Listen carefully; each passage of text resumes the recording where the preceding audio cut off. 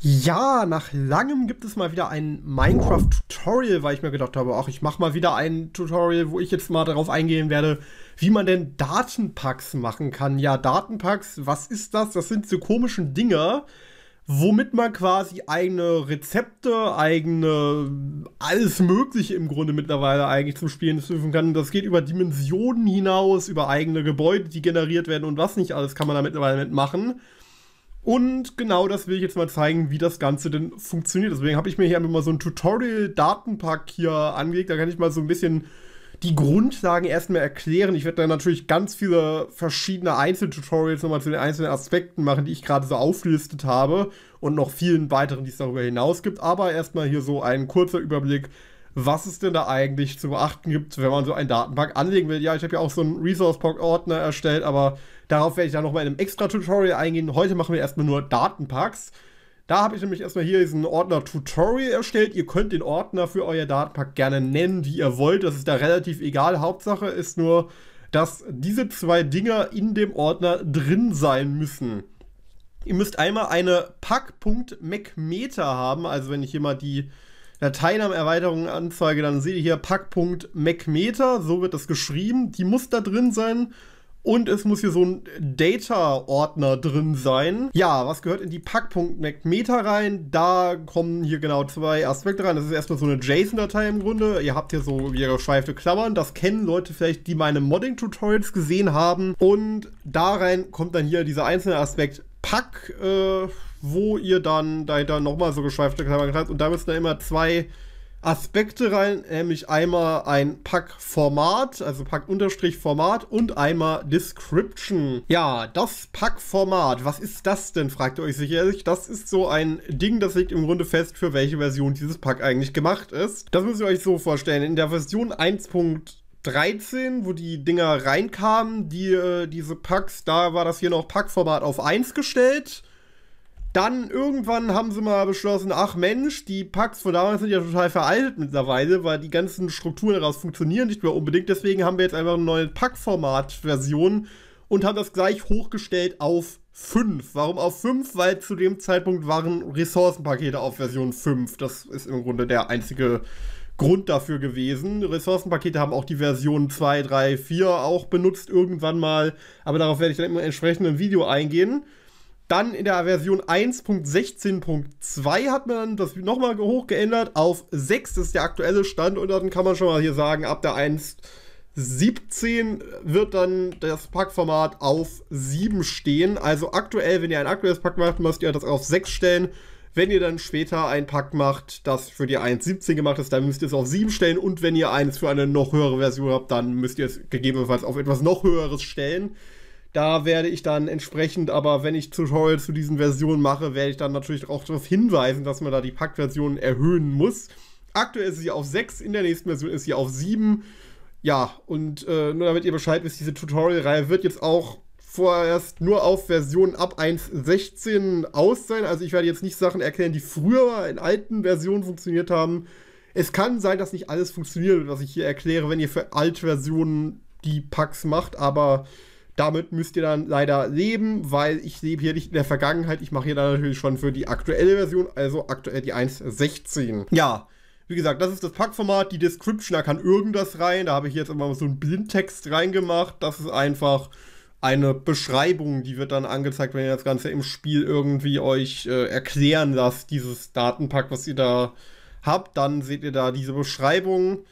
Und mehr ist das auch nicht. Ja, das ist im Grunde das, was in diese Pack.meta Meta muss, aber das ist ja nur wirklich diese Definitionsdatei, die muss halt drin sein, damit es funktioniert. Ansonsten wird euer Pack nicht erkannt. Was viel wichtiger ist, ist natürlich der Data-Ordner. Und da seht ihr jetzt erstmal, hier sind zwei Ordner drin. Hier gibt es einmal den Minecraft-Ordner und dann gibt es hier den Tutorial-Ordner. Der Tutorial-Ordner kann in dem Fall heißen, wie ihr möchtet. Das ist einfach, äh, um es darzustellen, es gibt sowohl einen Minecraft-Ordner als auch, ihr könnt auch Custom hier irgendwelche anderen Ordner reinmachen. Ihr könnt da auch prinzipiell noch mehr Ordner reinmachen. aber das macht, glaube ich, wenig Sinn, in einem Datenpack mehr als äh, den Standardordner zu haben und dann euren eigenen Ordner zu haben, weil so viel braucht man ja gar nicht. Das ist nur unnötig kompliziert dann. Ja, erstmal gehen wir in den Minecraft-Ordner. Es sei übrigens gesagt, es müssen nicht unbedingt beide Ordner drin sein. Es kann auch sein, dass ihr nur den Tutorial-Ordner oder nur den Minecraft-Ordner drin habt. Aber es äh, ist grundsätzlich so, alles, was in diesen Datenordnern drin ist, die Ordner da sind nicht unbedingt notwendig, damit es funktioniert, aber ihr könnt sie halt, wenn ihr darin etwas verändern wollt in dem entsprechenden Ordner, dann müsst der entsprechende Unterordner natürlich vorhanden sein.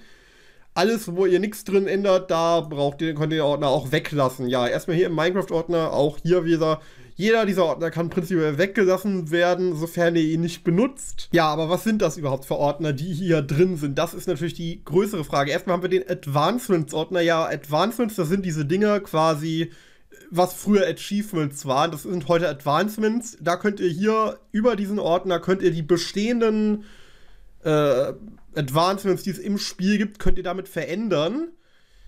Es gibt, äh, ihr könnt da prinzipiell auch eigene Sachen reinmachen, aber für eigene Sachen ist es empfehlenswert, wenn ihr dann hier euren eigenen Ordner macht. Da sieht nämlich auch, der sieht praktisch genauso aus. Da gibt es ja auch den Advanced-Ordner. Es ist halt so gedacht, Sachen, die in dem Minecraft-Ordner sind, sind Sachen, die aus dem Spiel schon vorhanden sind, die ihr einfach nur verändert. Sachen in eurem eigenen Ordner sind, wo ihr wirklich was eigenes hinzufügt. Also wenn ihr ein eigenes Advancement hinzufügt, dann kommt das in diesen Ordner. Wenn ihr ein bestehendes Advancement ändert, kommt das in diesen Ordner. So ist das im Grunde einfach aufgebaut. Ja. Was haben wir dann als nächstes? Wir haben ja als nächstes dann den Dimension und den Dimension Type. Die nehme ich jetzt mal zusammen, weil sie auch zusammengehören. Das ist, wenn ihr eigene Dimensionen einfügt, beziehungsweise hier im Minecraft-Ordner ist, wenn ihr da Dimensionen im Spiel verändern werdet. Da braucht ihr hier in dem Dimension-Ordner macht ihr halt eure so Dateien rein, die dann die entsprechende Dimension definieren und der Dimension Type ist nochmal ein bisschen was, um die Dimension nochmal allgemeiner zu definieren.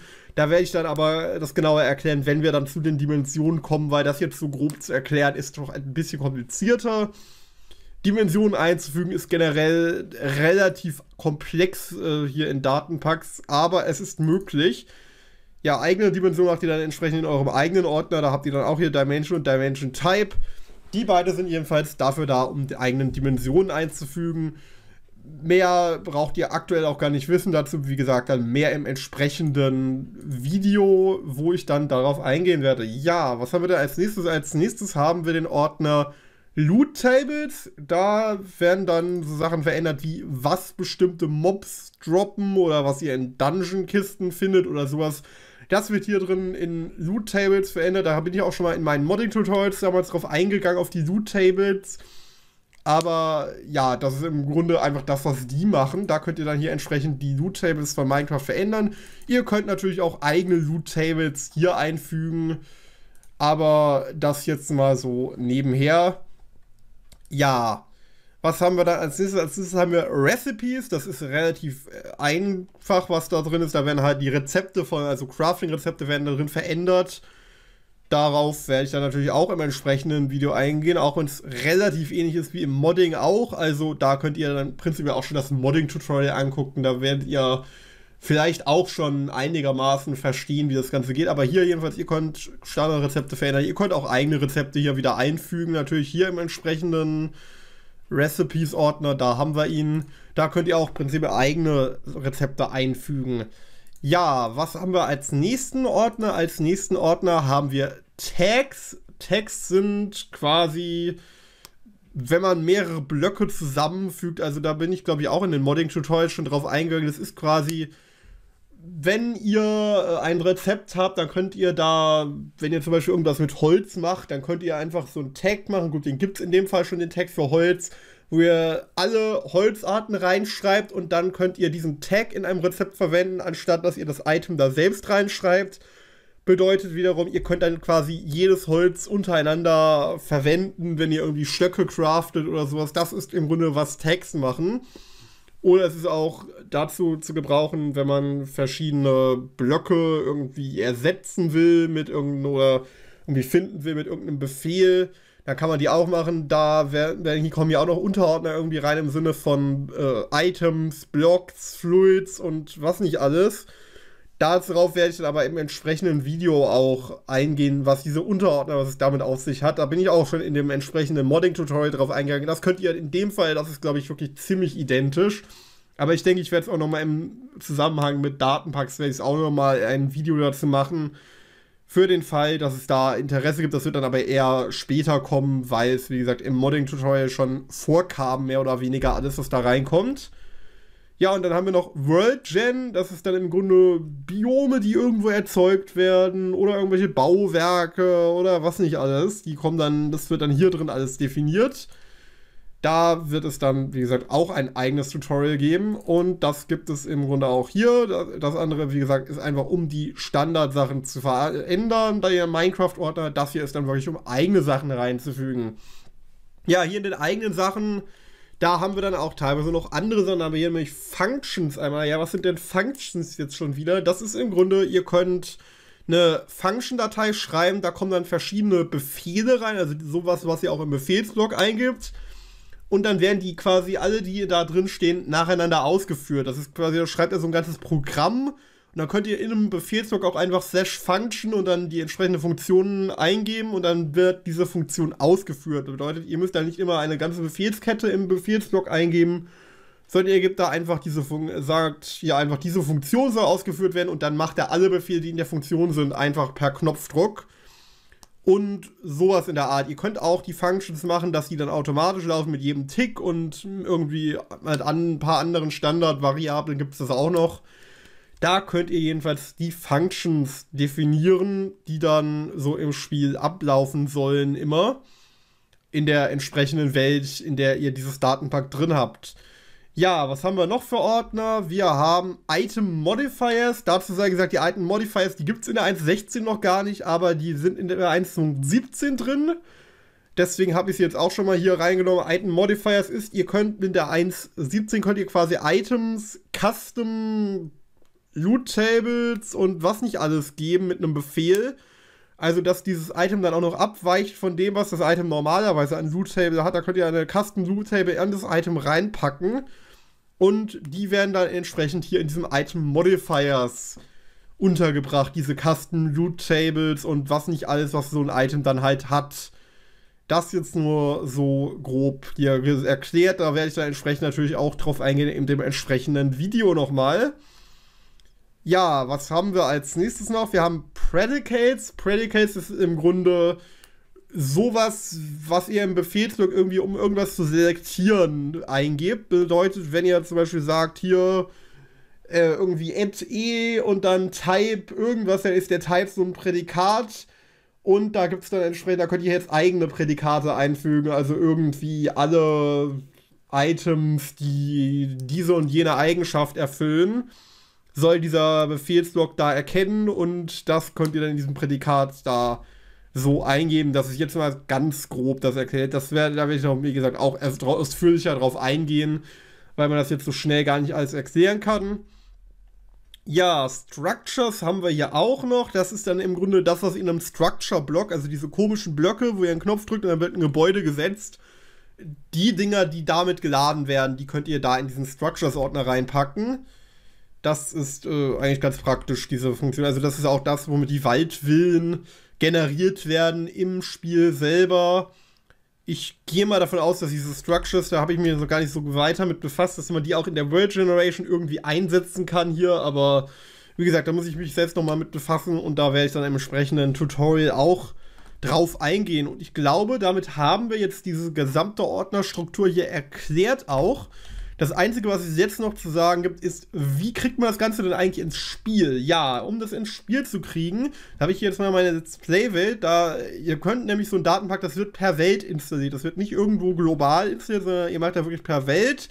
Da geht ihr in den Weltspeicherordner, wo ihr an den kommt, ist, sollte eigentlich mittlerweile jeder wissen. Oder es geht auch irgendwie über das Spiel, da gibt es auch einen Knopf, um da hinzukommen.